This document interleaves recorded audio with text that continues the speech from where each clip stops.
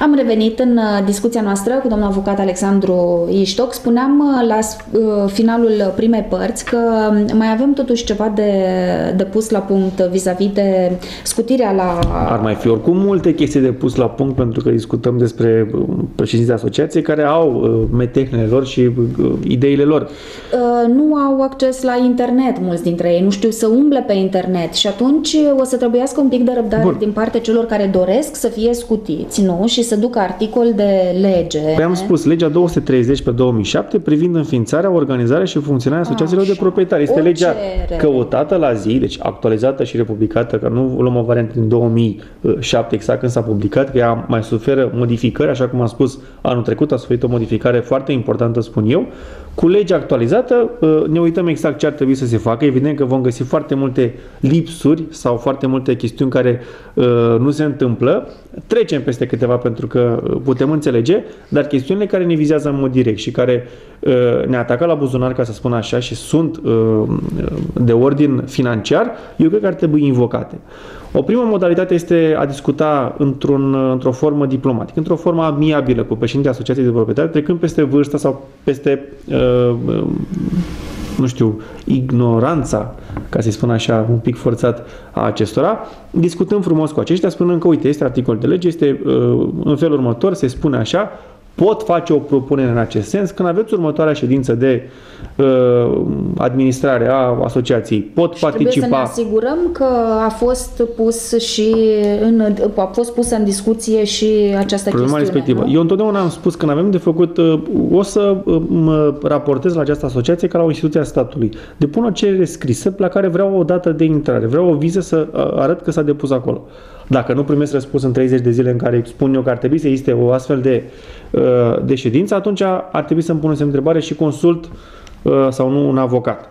Uh, este foarte important să am această chestiune scrisă. Am persoane care vin și la care le dau consultații și spun am spus administratorului, am spus e președintelui, da, să facă aia și nu a făcut. Păi bun, doamnă, dar eu cum văd că ați spus? Că poate veniți acum și îmi spuneți mie că zilele trecute a fost o doamnă și uh, mi-a spus în felul următor că am discutat cu președintele Asociației de uh, Proprietari să facă aia. Am spus să facă aia și n-a făcut.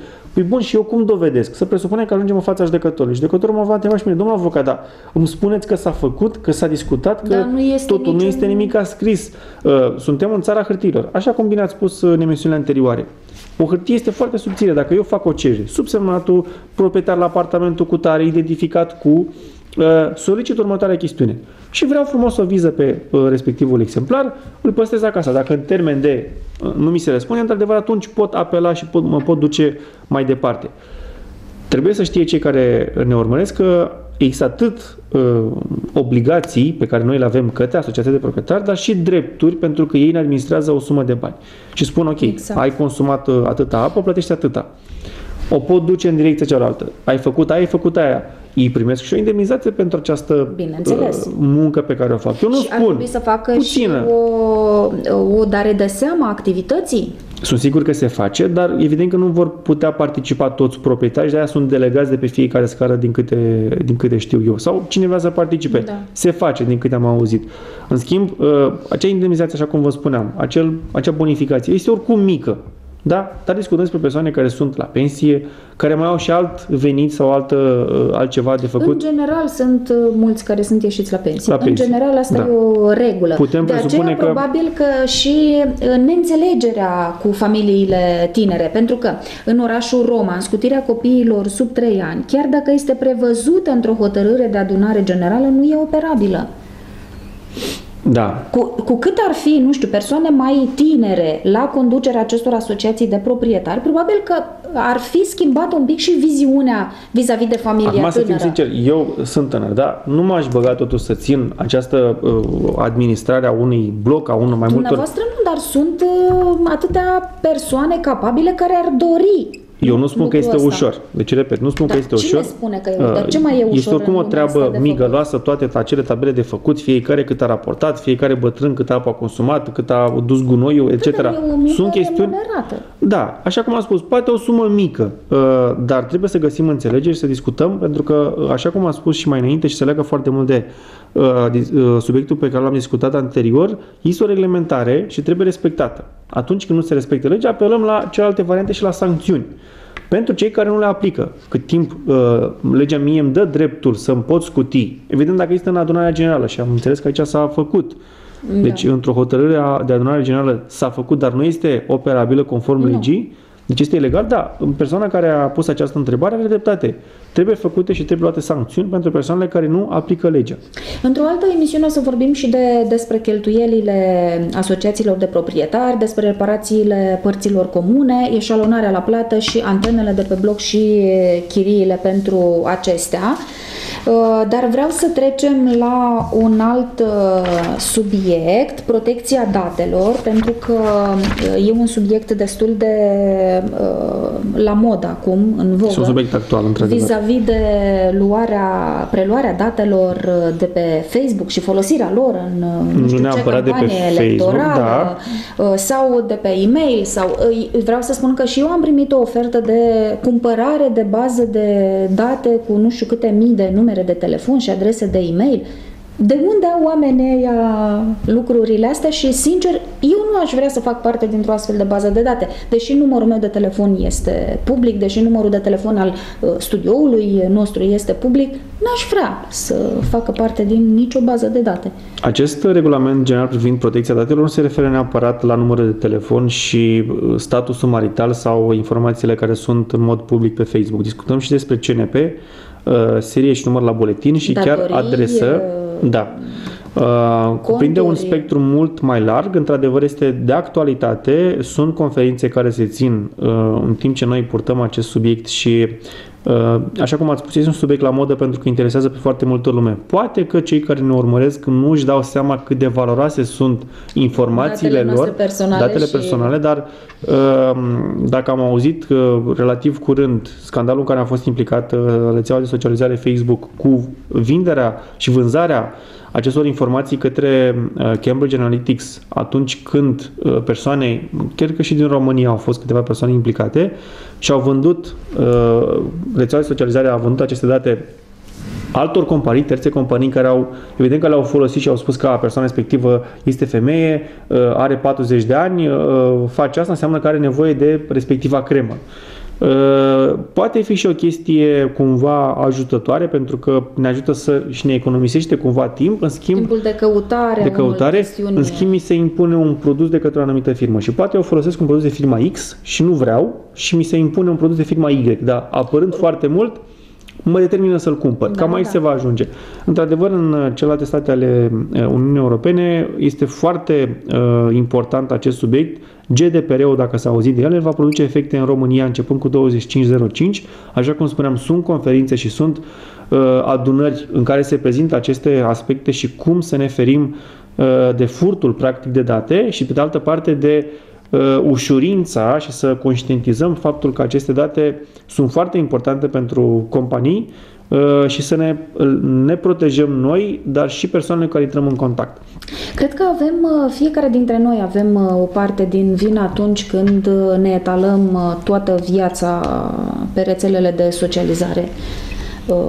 Și atunci, nu știu de ce ne-am supărat, nu? Că noi Bun, aici sunt două chestiuni, că toți a, ați adus aminte. Avem uh, grupul nostru de prieteni pe rețeaua de socializare. Oricum s-ar numi ea, că este una, că sunt mai multe, avem un cer de prieteni cărora uh, vrem să le uh, destăinuim ce am făcut noi ieri, alteri, etc. Și mai este și o altă uh, parte, o altă, un alt aspect al companiilor cu care noi lucrăm. Uh, am dat like la o pagină și atunci spune permiți companiei să aibă acces la profilul tău public, data de naștere, lista de prieteni, atunci este o problemă. Că vede un prieten sau un, nu știu, un vecin da? sau un coleg de muncă ce am făcut eu, nu mă deranjează foarte tare, pentru că nu are ce să facă cu informația respectivă. În schimb, atunci când ne dăm acceptul ca datele noastre să fie prelucrate și uh, cumva, uh, nu știu... Păi dacă ne-am dat acceptul, trebuie să suportăm consecințele, nu? Corect, dar trebuie să conștientizăm ce, uh, uh, ce consecințe vor fi aici, pentru că... A, foarte mulți dau uh, acceptul acesta nefiind conștienți necitind de și da, ce, ce se întâmplă. Eu o să vă dau un exemplu foarte clar. De când s-a introdus această, acest regulament și, așa cum am spus, va produce efecte juridice și noi acum suntem într-o perioadă de pregătire, de conștientizare a ceea ce înseamnă, și noi lucrăm cu date cu caracter personal. Da? Suntem uh, societatea de avocatură, suntem patru avocați acolo, vine clientul cu buletinul. Eu trebuie să-i fac o copie de buletin pentru că trebuie să fac un contract. Și îi dau un formular în care el este de acord cu uh, prelucrarea acestor date doar în scopul în care mi-a fost încredințat. Spre, spre exemplu, vine o persoană și trebuie să facem o dezbatere de succesiune, am nevoie de CNP-ul lui pentru că trebuie să introduc ca fiind reclamant. Da? Deci persoana respectivă Uh, vine un da, domn... și ăsta e moștenitorul și nu altul. Da, adică eu trebuie să, să mă folosesc de CNP-ul lui. Atunci când el îmi dă, CN, îmi dă buletinul și eu îmi notez datele lui sau îmi fac o copie de buletin care va rămâne exclusiv la dosarul meu, deci niciodată nu va pleca de acolo, eu va trebui să mă folosesc CNP-ul lui în sensul în care, foarte important, îl introduc în ceea de chemare în judecată, nu în altă parte. Ehm, poate aveți cunoștință și poate cei care ne urmesc acum cunosc câteva cazuri cu, cu iz penal, cu persoane care au lucrat în diferite locuri și au făcut uh, împrumuturi, împrumuturi în numele da, lor. Da? Pe baza actelor pe de care oamenii le-au lăsat. Identitate, uh, da, corect. Au lăsat buletinul acolo, carte de identitate, au făcut copii, au falsificat o adeverință devenit, etc. Uh, din câte știu și chiar eram în sală atunci când s-a judecat, cel puțin două mi-aduc aminte acum, oricum nu o să le dau numele, nu, nu, dar nici și nu... nici compania la care lucrau. Evident, compania n-a avut nicio vină și neștiind ce se întâmplă cu ce fac, ce fac angajatele, în, în timpul lor, dar au, avut, au primit pedeapsă cu executare, din câte știu. Evident, și suma de bani a fost destul de mare. Bun. Acum nu pot să garantez că mă duc și îmi fac un abonament la un serviciu, nu știu, de telefonie fixă sau mobilă și persoana care îmi ia buletinul și mi-a datele nu face un contract în numele meu. De acord. În schimb, acest regulament aduce modificări în domeniul legislației și spune că nu mai avem nevoie de CNP pe factură. Da? Avem nevoie doar de, un, doar de o adresă. Știm că factura lucrăm cu persoane juridice și la un moment dat spune delegatul. Și notam CI, INT, da, numărul respectiv da, da, cu semnătură da, da, da. cu tot. Nu mai este nevoie. Se va modifica legislația în sensul ăsta în care delegatul va trebui să-și treacă doar datele, uh, datele de unde locuiește. Dar pentru a putea fi căutat, nu și CNP-ul. Uh, sunt modificări care țin foarte mult de cei care lucrează cu astfel de date și sunt sigur că și dumneavoastră la studio aici aveți persoane care vin și dau anunțul și, domne, dăm buletinul să-ți fac un contract, oricât de mic, oricât da, de... Da, exact. Așa. Chiar nu... și pentru contractele cu valoare zero. Tot trebuie să știu cine își asumă responsabilitatea exact. pentru ceea ce este spus în anunțul respectiv. Vreau să vând o casă, exact. vreau să exact. văd exact uh, datele, corect. Sfatul meu este ca cei care lucrează cu date cu caracter personal să aibă un astfel de formular, să uh, sunt modele care circulă pe internet, pot uh, sau pot apela la un avocat să ajute în formularea acestui, uh, acestui tipizat, în care persoana respectivă își trece nume, prenume și date și spune sunt de acord ca aceste date să fie folosite strict în puncte, puncte. Și acolo completez. Pentru anunțuri publicitare la mine, pentru uh, redactarea de întâmpinări, de, uh, nu știu, căi de atac, etc. Nu am voie în altă parte. Deci nu am voie să-i stochez informații după ce s-a terminat dosarul, am pus frumos în dosar, l-am trimis la arhivă, nimeni nu are voie să um, folosească astfel de date în afară de persoana care a fost împuternicită. Bun. Uh, acest regulament încearcă să limiteze cât mai mult uh, felul în care se lucrează cu datele cu caracter personal.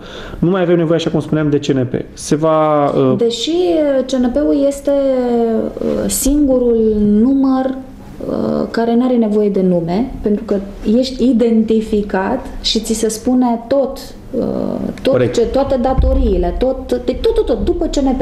Și amenziile rutiere, și cazier, și... Foarte important ați, ați, mai, uh, ați sesizat. În schimb, număr. cine spune aceste informații? O instituție a statului. Știm foarte bine că uh, permisul de conducere, care date CNP sunt ale ce... lor. Da? Deci ele sunt niște date care ne-au fost date nouă, noi păstrăm plasticul, păstrăm buletinul, da? nu este al nostru. Poliția are dreptul să ceară buletinul, uh, el este practic uh, organul statului care are dreptul să verifice. Eu nu îmi permit în calitate de persoană juridică, de reprezentant al persoanei juridice, să țin un buletin. Eu n-am voie să vă cer buletinul acum, să-mi dați să văd, să iau date de pe el. Nu am de ce. Uh, faptul că facem un contract, după ce facem contractul, semnăm acest formular privind protecția datelor cu caracter personal, într-adevăr implică uh, o obligație din partea mea, aceea de a avea grijă de aceste date. În schimb, eu nu vă pot cere buletinul să vă, uh, nu știu, identific pe stradă, să văd așa că mi se pare nu, mie. Nu avem, doar poliția are acest drept. Spuneați de cazier, tot la fel. Ni se dă un CNP, într-adevăr, în baza acestui CNP și am văzut că este cumva, ca o paranteză, un curent în, în România cu persoane care refuză CNP-ul și Uh, da, nu vor. Oameni liberi. Da, și suverani. De parcă noi am fi încarcerați pe undeva. Uh, de fapt am fi un pic încarcerați în sistem, da. Asta e altă discuție. Bun, facem parte din acest sistem, este normal. Practic, țara în care sistem, ne-am născut, ne-a primit aici, dacă nu vrem, suntem liberi să mergem în altă parte. Da, dar tot uh, cu CNP-ul după noi. Da. Pentru că ni s-a dat un uh, act de naștere. Nu, am clienți care au renunțat la cetățenia română și practic nu mai au. Au un alt număr probabil acolo unde locuiesc, dar nu mai au CRP, nu? Uh, ca să închei paranteza.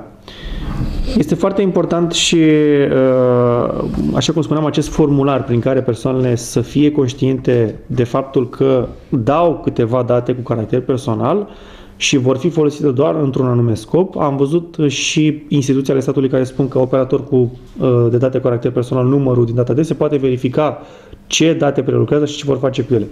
Bun, ca a doua chestiune care este foarte importantă este și în domeniul uh, în media, în IT, ce facem cu aceste date care uh, eu folosesc un calculator la birou și atunci am licență pe sistemul de operare, sunt sigur că uh, nu, sau am o oarecare siguranță mai mare decât cei care nu au licență pe sistemul de operare și un antivirus pentru a fi sigur că persoane străine încearcă să mai acceseze da, datele. Nu. Poate că nu mă interesează în mod direct, dar sunt responsabil de aceste date, ca și mine și alți colegi avocați, sunt sigur că și dumneavoastră aveți o bază de date aici cu persoane care au făcut contracte în vederea uh, promovării de anunțuri uh, pe postul dumneavoastră de televiziune, dar și celelalte persoane juridice care, nu știu, am cumpărat uh, un aspirator, mi-am dat buletinul pentru a mi se face un Uh, contract de garanție, un certificat de garanție, rămâne undeva acolo. Ei mă vor căuta după CNP dar strict în acest domeniu. Eu, nu am, uh, eu în calitate de persoană juridică, reprezentant al persoanei juridice, nu am voie să folosesc aceste date decât în scopul în care mi-au fost încredințate. Dar ni se cere, uh, apropo de chestia care ați spus-o, am cumpărat un nu știu ce aspirator de la nu știu ce companie, mi se cere voie să-mi trimită ofertele. Deci exact deci pentru asta se întâmplă. ofertele dacă eu nu sunt Și nu bifez aceste... Da. da. Sunt de acord să primesc în continuare ofertele la zi ale companiei. Dacă nu am bifat, nu ar trebui să ajungă la mine. Vom ajunge la un punct, uh, acum discutăm și poate că, uh, nu știu, România nu este pregătită și nu are oameni, fiind foarte mulți care trăiesc în zona rurală, să conștientizeze importanța acestor date. Eu am cumpărat un aspirator și aspiratorul la un moment dat va avea nevoie de un sac. Cei care mi-au uh, vândut acest produs iau datele și spun Vasile că a cumpărat un aspirator în 1 ianuarie 2018, la un moment dat, că noi știm cam cât uh, durează un sac, hai să-i trimitem o ofertă. Evident că eu când voi vedea oferta zic, mă, decât să mă duc la magazinul respectiv, cumpăr de acolo. Ar putea fi mai scump, ar putea fi cu 10 lei, cu 20 de lei, nu știu, costumă mai mare. Uh, s-ar ridica și nu aș fi conștient și mi s-ar impune folosirea unui produs fără ca eu să fiu, în primul rând, și fără să-mi dau seama, să fiu de acord, pentru că nu l-am căutat. Și atunci mi s-ar îngrădi cumva libertatea și uh, uh, dorința mea de a căuta un alt produs. Poate mai bun, poate mai ieftin, nu știm. Dar uh, aceste date, așa cum spuneam, sunt foarte importante și în afară sunt extrem, extrem de uh, costisitoare. Spuneați că v-ați fost abordată și uh, am auzit astfel de cazuri cu persoane care lucrează la diferite companii, strâng aceste date, strâng uh, profile de utilizatori, uh, uh, persoane care accesează și dau like unor pagini pe rețelele de socializare pentru a câștiga o mașină, un telefon, etc. Da. Urmând a le lua uh, obiceiurile și produsele pe care le folosesc, ca ulterior să vândă aceste uh, baze de date, așa cum spuneați dumneavoastră, sau la un moment dat vor veni, deși este foarte greu în domeniul în care activez, să-mi vândă mie o bază de date, pentru n-aș putea să, spun, să sun un om, spun, aveți nevoie de un avocat. În schimb, dumneavoastră care faceți publicitate, probabil că sunteți mai uh, dar nici noi nu putem să sunăm așa pe oricine, știți, nu vreți un contract de publicitate sau n-ați vrea să vă promovați la TV. E da. ciudat. Adică uh, noi trebuie să-i lăsăm pe oameni să vină înspre noi. Nu poți să agasezi omul, să Din punctul meu de vedere, din punctul meu de vedere, aceste baze de date sunt ilegale. Celor, cei care le-au făcut și care le vând mai departe, neconștientizând de fapt uh, implicațiile și, așa cum spuneam, și la noi se va modifica legislația în acest sens aliniindu-se cu cele din, uh, din, din UE, vor avea un caracter, un caracter penal. Și atunci Sfatul meu este să descurajez aceste persoane care vând baze de date în alt scop, foarte important, decât cele în care au fost prelucrate respectivele informații. Pentru că, așa cum spunem, vine persoana respectivă la studioul dumneavoastră, vrea să facă un abonament pentru uh, o anumită reclamă, trebuie folosit acel uh, nume, prenume și număr de telefon doar, doar în scopul în pentru scopul, care a fost da, uh, scris. Nu pentru altceva. Mai avem foarte puțin timp și chiar aș vrea să vorbim despre tractor. Ce e tractorul, domnule avocat? E vehicul, e autovehicul? Uh, e da. prins în lege? Trebuie permis sau nu trebuie pentru tractor? 355, articolul din noul cod penal, spune că um, conducerea fără permis a unui autovehicul se pedepsește bla bla bla cu închisoare la 1 la 5 ani. Uh, a existat într-adevăr și acum discutăm despre un proiect. Este foarte important să uh, dezvolt acest... Dar uh, proiectul a venit după Corect. niște experiențe da. cumva... Da. Și în alta curte de casație și justiția a ajuns la, la momentul în care a spus, domnule, au fost persoane și vă spun sincer că eu, inclusiv eu, în calitate de avocat, cu o persoană din, da pot să spun, din Săboani, Acum ceva timp a fost prinsă cu tractorul circulând pe drumul public, foarte important, pe drumurile publice, pentru că dacă circulăm cu orice fel de autoturism, vehicul pe un drum care nu este public, nu, nu ne avem, raportăm da. și nu ne supunem Bine. legislației penale. Mergem pe câmp, evident, și riscurile sunt mult mai mici. Rutiere, da. Rutiere. Așa, riscurile sunt mai mici. Nu găsim, nu știu, petoni pe câmp sau uh, uh, alte autoturisme. Bun, și uh, așa cum spuneam, am avut un, un client din Săbuani care a circulat cu tractorul, a mers foarte puțin, a ieșit de pe un teren pe altul, a făcut la un moment dat stânga, uh, dar a circulat pe drumul public și atunci l-a oprit poliția, domnule, tu n-ai permis.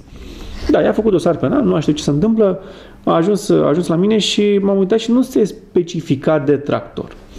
Uh, evident că a fost o, foarte, uh, o soluție foarte bună, o clasare acolo. În schimb, se va modifica acest articol din, din codul penal în sensul introducerii acestui utilaj. Nu este autovehicul, este un uh, tractor agricol sau forestier, așa cum este el numit, uh, urmând ca de ce uh, s-a ajuns în acest moment? Pentru că persoanele care foloseau tractorul uh, îl foloseau doar pe câmp. Și legitorul când a făcut articolul, când uh, s-a făcut noul cod penal, nu a presupus că respectivul utilaj va circula și pe drumurile publice. Deși ca accesul... Meargă, exact, ca să meargă de pe o bucată de pământ pe altă bucată de pământ, va trebui la un moment dat să intersecteze un drum public.